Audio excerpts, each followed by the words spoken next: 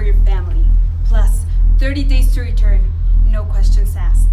This is your standard, brand new synthetic, one of a kind, standard domestic profile installed. I'll let you get a crack on. All right then. Dandelion, waterfall, hummingbird one, seashell. Hello, I am now in setup mode and ready for my primary user bonding. I'm the primary user, Jill McMara. A DNA sample will be taken for identification and security purposes.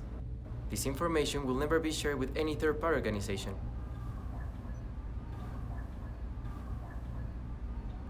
Thank you, Jill. I'm securely to you as my primary user. It is very nice to meet you. Your name's going to be Mark. Confirm. Confirm. Thank you, Jill.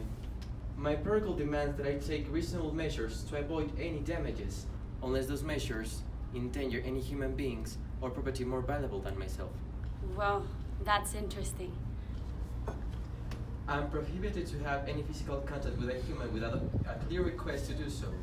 My protocol set currently demands that any request to do so, especially with childs under 12, in that case, I must be referred to a parent or a guardian, unless I judge the safe or the well-being of the child being at risk. So you're just a stupid machine, aren't you?